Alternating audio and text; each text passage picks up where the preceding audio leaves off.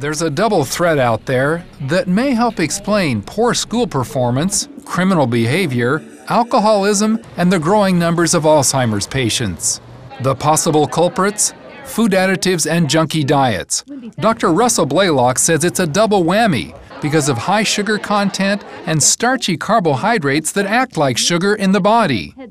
Blaylock, a medical expert on the brain, explains that problem in a new DVD lecture, Nutrition and Behavior.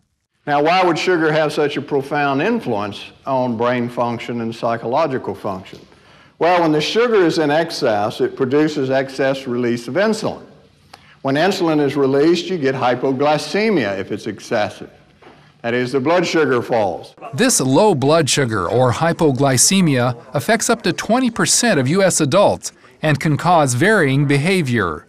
Hyperactivity is often the response in younger children. For many children and adults, there can be violent and aggressive behavior. Mental confusion can be the result for older people as the low blood sugar fails to fuel the brain, making it more prone to Alzheimer's. Jack Samuels recalls that kind of confusion during a trip to grab milk at the grocery. I just, I, I remember, you know, getting way out into the countryside and, and pulling to the side of the road and, and trying to sort of calm myself and think, you know, now where did I come from? You see, Samuels had accidentally consumed some of the flavor enhancing food additive known as monosodium glutamate. MSG can cause hypoglycemia on its own. Samuels tries to avoid all forms of MSG, but struggles because there are so many hidden sources.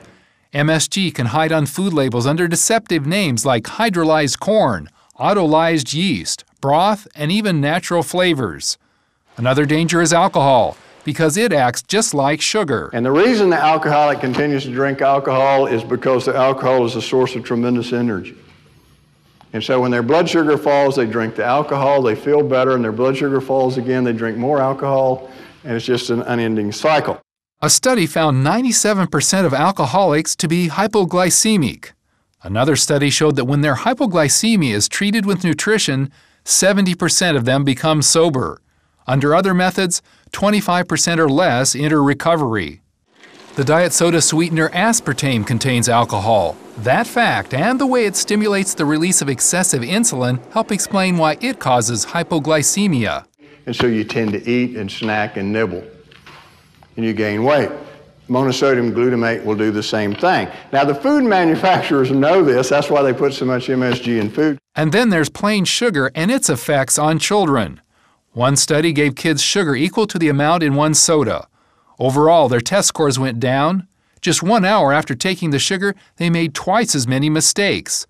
The sugar loaded students also showed more inappropriate behavior during free play. So, what diet is anti hypoglycemic? That would be lean meat and lots of fresh fruits and vegetables. Another key watch those sugars and starches like sugar itself, products with corn syrup, most fruit juices, white bread, white rice, and white potatoes. By avoiding most processed food, you'll also be more likely to steer clear of the MSG that so often lurks among the ingredients. And with so much of this information out there, you might wonder if the government is looking into the connection between nutrition and behavior. There is very little financial reward for a researcher to find the cause of a disease and consequently, most of the research dollars go to the development of drugs to treat a disease because there's a lot of money involved there. Blaylock says think of the kids and start teaching them about nutrition. That could make for a better home life today and future adults better able to excel in the world.